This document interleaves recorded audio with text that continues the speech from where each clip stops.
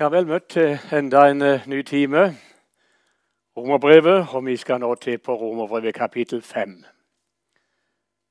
Men først så vil vi be sammen.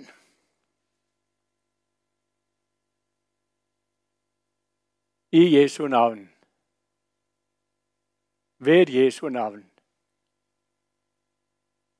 Og gjennom Jesu navn går vi til bords og spise, drikke av ditt ord. Deg, Gud, til evig ære og takk, og oss til gavn både i tid og i evighet. Så får vi mat i Jesu navn. Amen.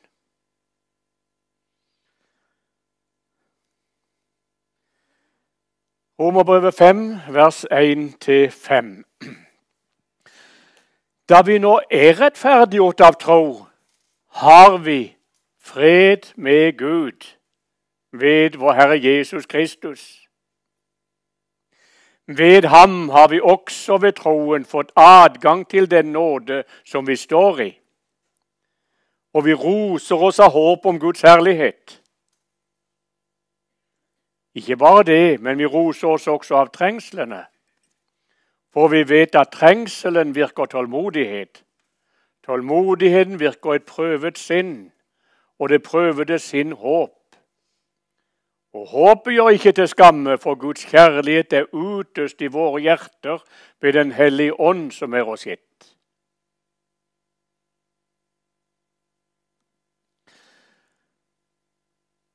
Nå har vi hørt om rettferdiggjørelse av tro timene før. Og så kommer det da vi nå er rettferdiggjort av tro, så har vi La oss stanse der først. Så har vi Dette har jeg hatt bruk for mange mange ganger opp gjennom livet. At Gud minner meg på noe som jeg har allerede her og nå. Og nå vil han gjerne minne det på det samme. Her er ikke bare snakk om noe som vi skal få ha en gang. Vi vet at når Guds barn er hjemme skal, i himmelen, da skal vi ha. Men allerede her og nå noe som vi har og eier. Og grunnen til at uh, vi har så bruk for å høre det, er ikke minst det at uh, vi er så ofte opptatt med alt det ikke vi har. Åndelig talt. Vi skulle ha hatt, vi burde ha hatt, skulle vært sånn, og det skulle vært slik. Husk på Abraham. Mot håp trodde han med et håp. Der han ingenting hadde, var helt hjelpeløs. Der hadde han Guds løfte. Og midt i en sånn situasjon der vi kan se og oppleve at vi har ingenting har av det vi skulle ha hatt, så sier Gud, Gud så da vi nå er rettferdiggjort av tro, så har vi. Og så kommer det første. Fred med Gud. Det som vi nå får høre om framover nå, hva innebærer det å være rettferdiggjort av tro? Er det noe å være et Guds barn? Er det noe? Hva er det for noe? Hva er det for noe med tanke på vårt forhold til Gud? Hva er det for noe med tanke på alle de trengsler, vanskeligheter, motgang og prøvelser som vi møter her i livet? Det å være rettferdiggjort av tro, har det noe å si oss i en sånn situasjon? Er det noe å være et Guds barn med tanke på evigheten? Alt dette får vi nå høre om. Da vi nå er rettferdiggjort av tro, så har vi. Og det første og grunnleggende fred med Gud. I Bibelen er det tale om flere slags fred. Iallfall to slags fred med Det er snakk om i Filipperbrevet og også andre plasser. Om en fred som overgår all forstand, som skal bevare deres hjerter og tanker i Kristus Jesus. Det er en fred som kan finne sted inni vårt hjerte, som man kan føle og oppleve.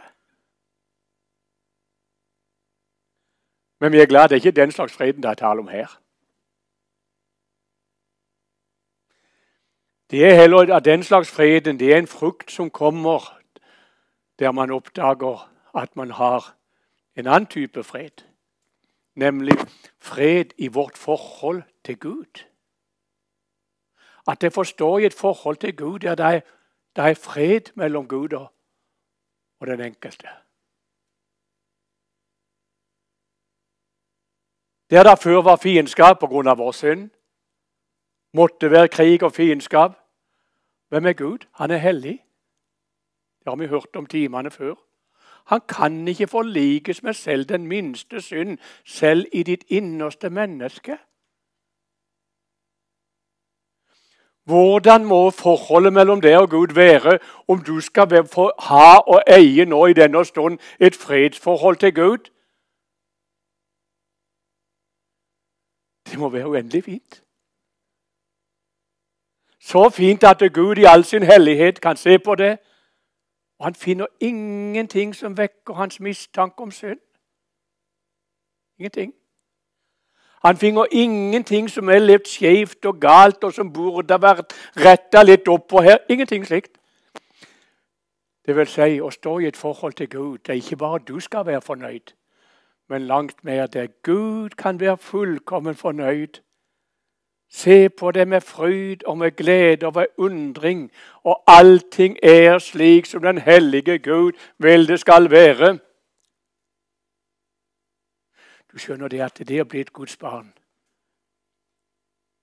Det er ikke det at Gud liksom han hjelper oss og retter på litt her og litt retter på litt der. Eller som det står i en sang at uh, om du er halv, så gjør Gud deg heil. Nei, du er ikke noe halvt i det hele tatt. Den barneretten som vi fikk fra skapelsen av, den er fullstendig ødelagt. Helt ødelagt. Men i Kristus Jesus så har Gud gitt en helt annen barnerett. Guds sønns egen barnerett hos Gud. Med alle dets herligheter og rettigheter hos Gud. Jeg har noe her i kveld. Du skal få ha noe som sitter og lytter til. På grunn av Jesus. Du skal få ha et fredsforhold overfor Gud. Fordi Gud selv har tatt bort all de synd i Jesus på Golgata kors. Og fordi han har gitt deg Guds sønns egen rettferdighet, hans rettferdighet og hans barnekår hos Gud. Da vi nå er rettferdiggjort av tro, så har vi fred med Gud. Nå sitter jeg litt på et bord her, og sånn, dere som kan se det. Ofte så hopper jeg ned, og så ofte så er det nesten som sånn at den enten sitter på en stol eller på bordet her at den Kan jeg riktig sette meg på dette her? Kan jeg holde dette her? Kan jeg hvile der? Sånn kan man gjerne ha det i sitt gudsforhold. Ikke minst når alt i en, omkring en, alt hva en ser og føler og opplever, og sier at 'du kan ingen kristen være'. Og så kommer Gud og sier 'jo, det kan du'. Ved Jesus Kristus har du fred med Gud. Da skal du ikke bare sette det som på kanten av stolen. Da skal du få lov til å sette det ned med full tyngde og hvile.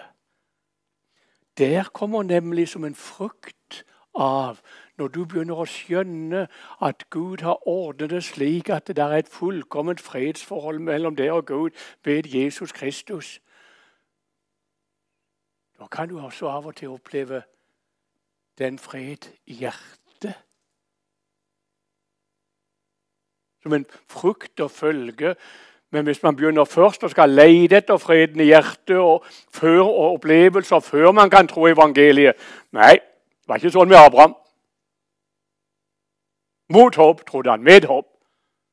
Det er ingenting bare det som skulle være for at det skulle skje det Gud hadde sagt. Før hadde Abraham bare ett håp. Gud har sagt. Slik skal vi få ikke gjøre. Ikke begynne å se etter i vårt hjerte hva har Gud sagt i sitt ord. Det er det vi skal få regne med. Da vi nå er rettferdiggjort av tro, har vi fred med Gud ved vår Herre Jesus Kristus. Det kommer gang på gang på gang igjen. I, ved og gjennom én person. Gud og menneske i én person. Jesus Kristus. Det er det allting dreier seg om. Det er han allting dreier seg om. Det var det første. Og det grunnleggende. Utgangspunktet for alt. Fiendskap er tatt vekk. Jeg har fred med Gud. Takk, takk, kjære Jesus. Er, han er vår fred. Efeserbrevet.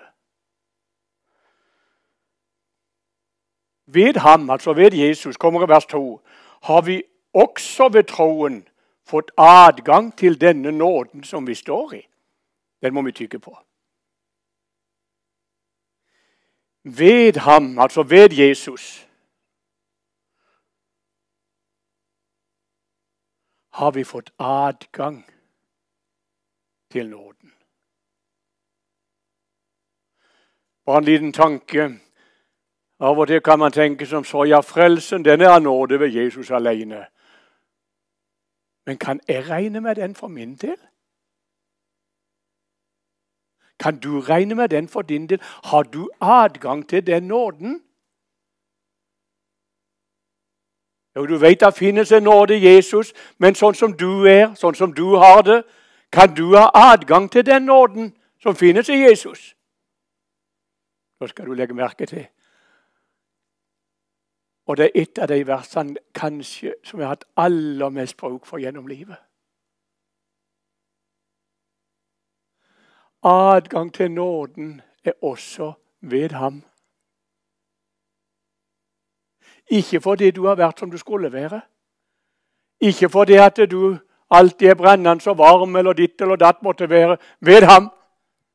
Akkurat som selve frelsen og nåden er ved ham, så er også adgangen inn til å gjøre seg bruk av den nåden ved ham. Du skal med frimodig begynne å regne med Guds nåde som din. Ved Jesus. Uforskyldt. Ved ham. Og det var jo ikke bare første gang det var slik. For her taler vi om noe som skjer uavbrutt gjennom livet. Ved ham har vi også ved troen fått adgang til denne nåden som vi står i.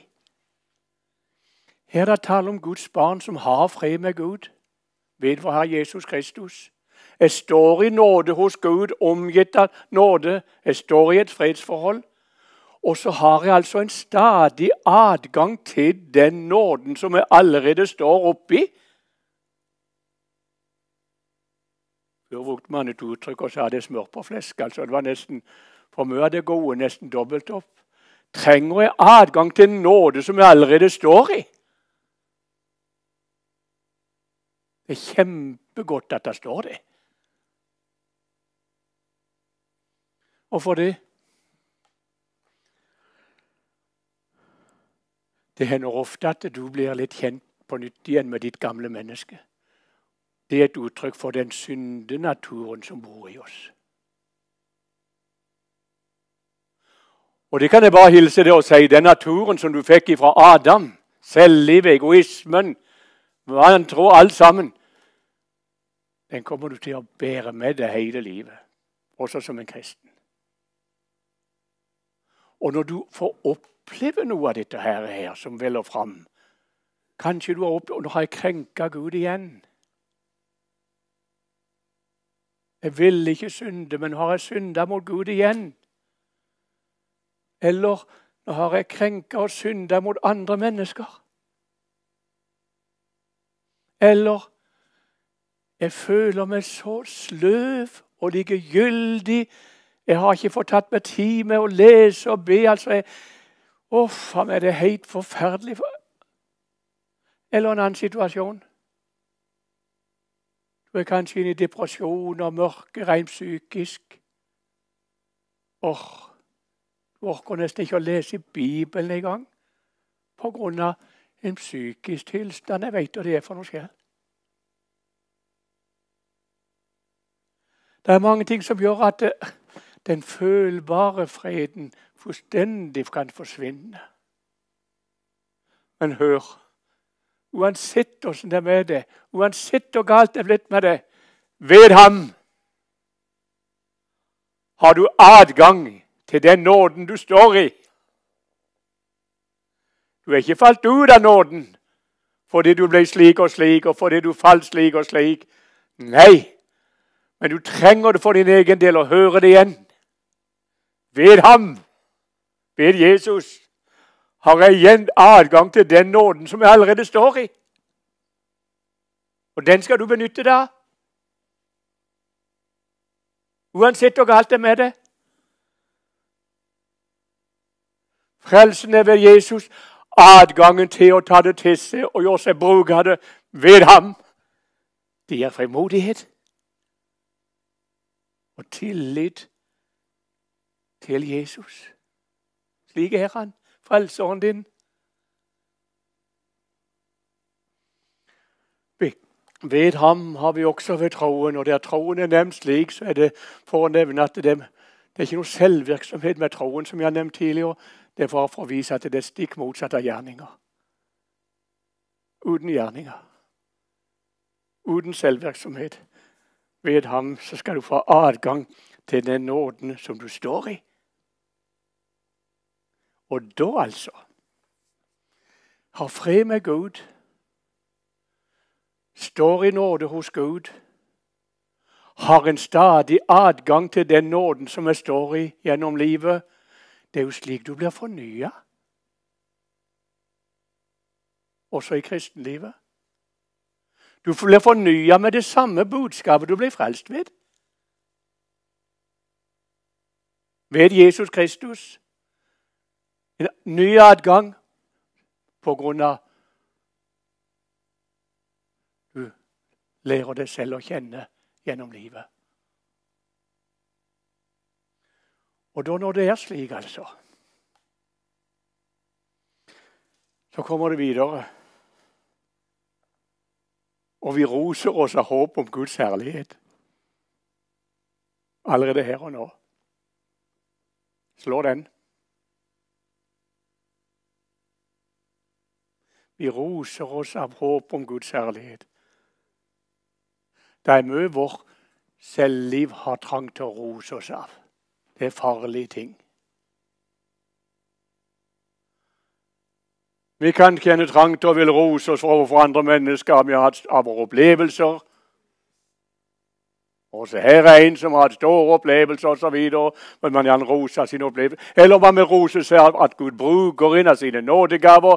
Oi, oi, oi, At man vil liksom være noe. vokte. Det har ikke vi rett for til å rose oss av. Ingenting. Men Gud har gitt oss noe vi kan få rose oss av.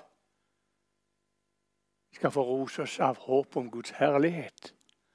Altså rose seg, prise seg lykkelig over, fryde seg over. Og det er ikke et sånn et håp ja, kanskje, kanskje ikke. Håper det, men det er ikke så sikkert, altså. Nei, det er et levende håp. Det er et håp som slår til for fullt, som går i oppfyllelse. Og for det ved ham, ved Jesus. Litt så sikkert som at ditt hjerte er retta imot budskap om Jesus som din eneste frelse og redningsmann. Og litt så sikkert som du gjennom livet har en stadig adgang til den nåden som du står i. Like så sikkert kommer du til å nå det fullkomne Guds rike. Og dette skal du få lov til å regne med.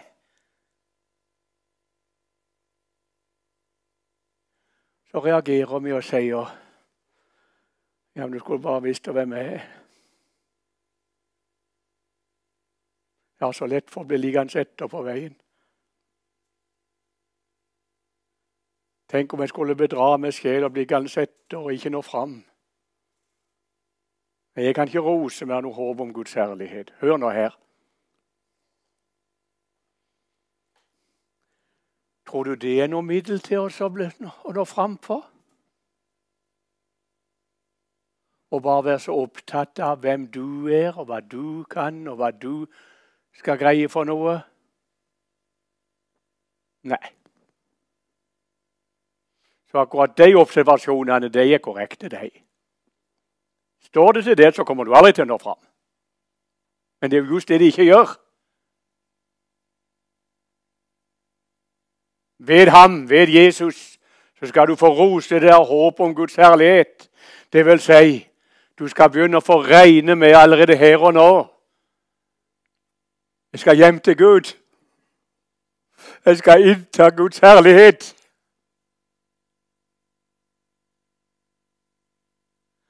og begynne å regne med som Da er vi inne i Abrahams tro igjen. Mot håp trodde han med håp. Det er da ingen håp her for deg til at dette her skal gå fram. At du skal komme, bli bevart. Det har du ett håp. Gud har sagt. Troen henger fast med Hans ord og løfte alene. Og det styrker troen.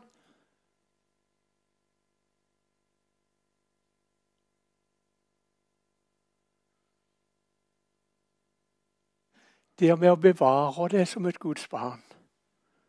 Med å ta imot, spise, som vi ber om hver eneste dag vi har bibeltime. Spise og drikke av ditt ord. Da skal du også spise og drikke og ta til deg det året. Du skal få lov til å regne med det fullkomne Guds rike. Du eier det allerede nå i troen, og du skal innta det snart. Det med å styrke sjelen din. Gi frimodighet. Hva for noe? Løfte, ordom. Abraham holdt Guds trofasthet og hans allmakt fram imot alt det håpløse. Sånn skal du også gjøre i løftet om det fullkomne Guds rike.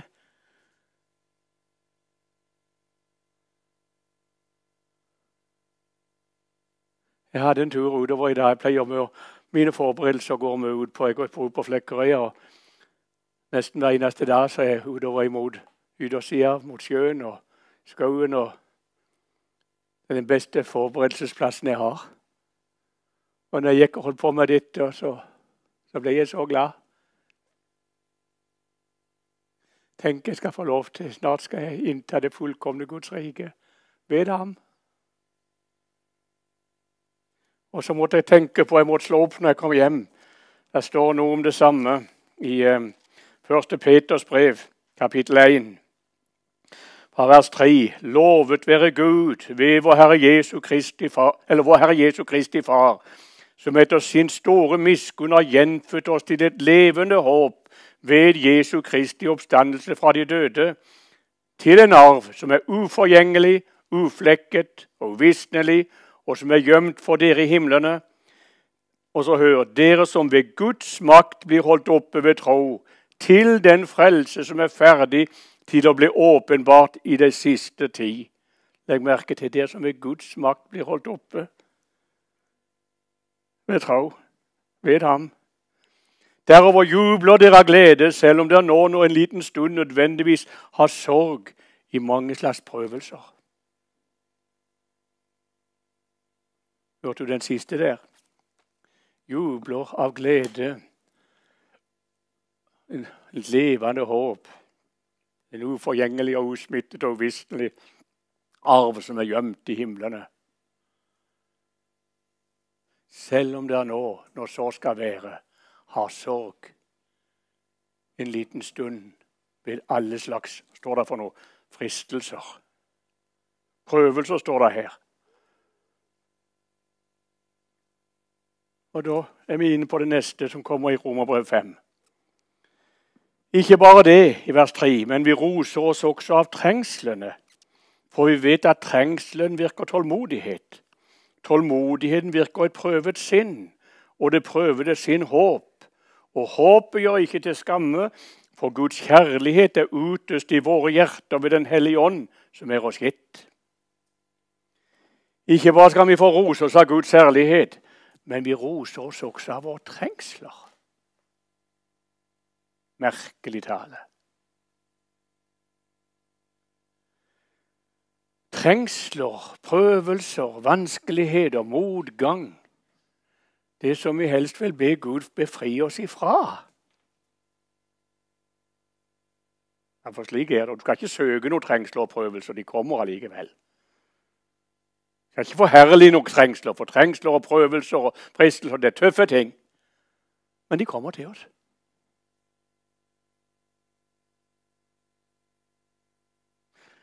Det er Av og til det noen som tenker som så at hvis bare jeg var en skikkelig kristen, så, sånn som Gud ville jeg skulle være, ja, så var jeg fri alt slikt. Var det nesten eh, herlighet og himmel bare her på jord? Sånne folk vi ikke på. Bibelen taler annerledes. Bibelen taler om trengsler og prøvelser og vanskeligheter. og prøv... Altså, Det kan bli så ugreit for en Guds barn her på jord. Og det kan det være mange mange årsaker til.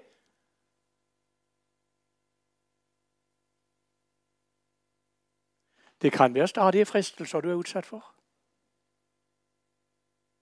Hadde bare vært fri, det der. Det kan være andre mennesker som er så vanskelige å ha med å gjøre.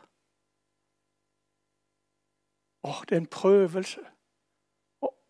Hvorfor skal det stadig være slik? Omgås vanskelige mennesker om igjen og om igjen. Og, det er så mange ting som gjør det så ugreit.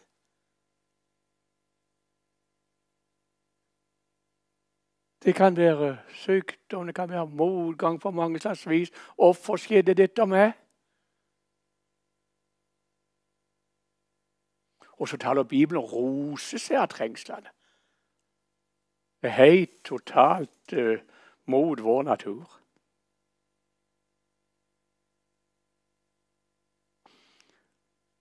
Men Guds ord taler om det.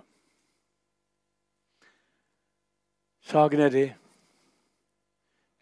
Troen skal både modnes, og du skal, du skal bli bedre og bedre kjent med Jesus. Han har, han har mye her. Det er en hel bibel vi har her. Han har så mye han ville ha sagt det.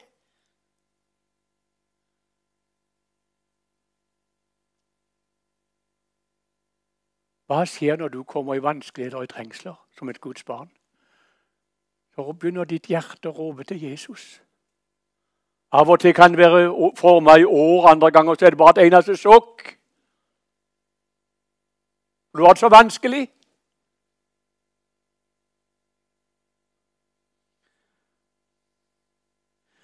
Slike ting kan være farlig for oss. Det var mange som, når de møtte slike vanskelige trengsler så Det var ikke slått rot skikkelig så rot Guds sår at det, så, så kvelte det hele Guds liv. Og så, nei, det, så gikk man heller vekk fra Jesus. Du skal ikke gjøre det. Du skal la det drive inn til Jesus. Og Kanskje du satt og leste i Bibelen, eller kanskje du satt og leste i andagsbok, eller kanskje det var et sangvers eller noe. Så traff det deg midt i din situasjon. Da skal du henge fast i det. Etter Guds løfter, kanskje. Når du er på nød, kall på meg på nødens dag, så vil jeg utfri deg. Du skal prise meg. Det er, som, ofte så er det nødens dag i livet.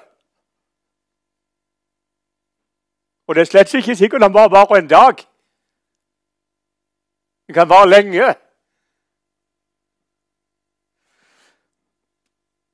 Så kaller ditt hjerte på Han, på Jesus. Og så skal du åpne din bibel, og så har han noe han vil ha sagt det. Han har et ord han vil gi deg. du skal få henge fast med?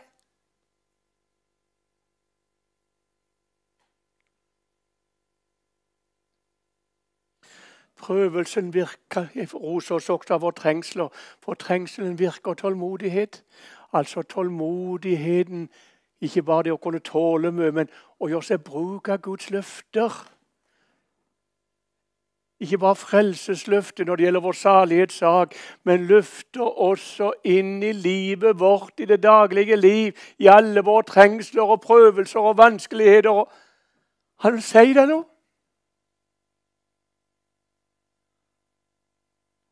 Og Så går du der og så henger du fast med et løfte. Og så ser det ut som at det hjelper ingenting. Nei, nei, åssen var det med Abraham? Mot håp trodde han med håp. Så skal du henge fast med løftet likevel. Og en dag så skjønner du, og så ser du det. Han var trofast, og han var allmektig. Og så må du takke Gud. Derfor har du kommet igjennom trengselen med et prøvet sinn som hadde prøvd at Guds ord holdt. Eller var det ikke lenge så kom det nye ting som var trangt og vanskelig. Og så måtte du gjenghenge fast med Jesus. Og slik sett så virker trengslene et prøvet tålmodighet, og tålmodigheten et prøvet sinn. Et sinn som har prøvd og erfart at Guds løfter er til å stole på. De holder i trengsler. Og det Bibelen taler om en hjelp i trengsler funnet såre stor, overmåte stor. Slik er Jesus. Han fører deg ikke utenom alle slags trengsler, nei. Men han bærer deg gjennom det, og han vil at du skal få erfare det.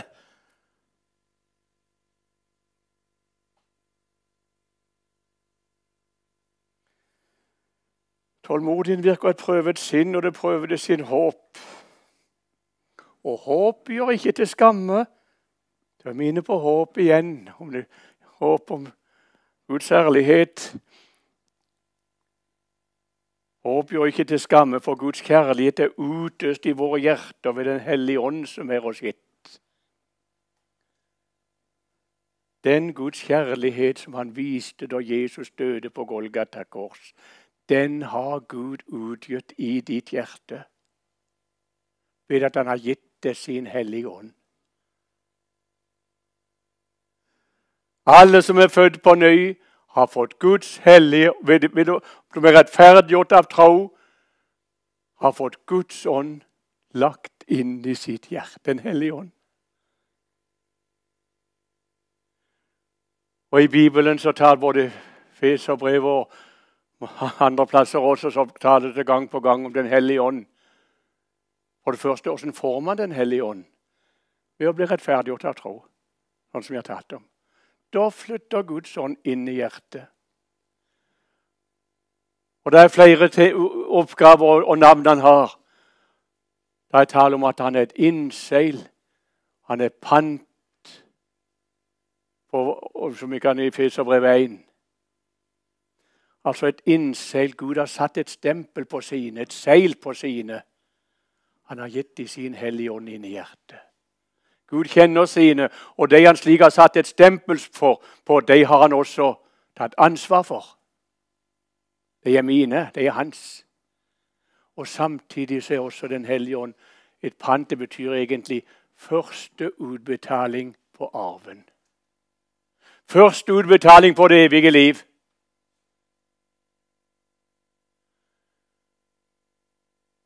Den hellige ånd flytter inn i hjertet, og du opplever og erfarer Guds omsorg og kjærlighet gjennom trengsler og prøvelser, selv om du måtte vente og vente og vente på Guds time. Men så lærte du Gud å kjenne slik. Han er til å stole på. Han er til å regne med. Og på den måten så gir det også håp om han er til å regne med helt hjem. Han skal føre meg helt hjem. Dermed så er vi tilbake igjen. Ros oss av håp om herlighet hos Gud. Men trengslene og prøvelsene og erfaringene med Guds ord og løfter er kjempenyttige for Guds folk. Og så avslutter vi da med igjen der vi var inne i Peters brev, 1. Peter 1. Fra vers 6. Derover jubler dere av glede, selv om dere nå en liten stund nødvendigvis har sorg i mange slags prøvelser. Dette skjer for at deres prøvede tro, som er langt mer kostbar enn det forgjengelige gull, som jo lutres ved ild, skal finnes til lov, pris og ære ved vår Herre Jesu Kristi åpenbarelse. Den prøvede tro slik, den er verdifull i Guds øyne. Mer verdifull eller forgjengelig gull. Og den skal finnes til lov, pris og ære ved vår Jesu Kristi åpenbarelse. Du som er godt kjent i den prøvede tro. En dag så skal den prøvede tro finnes til lov, pris og ære. Da er du hjemme. Det sørger Gud for. Amen.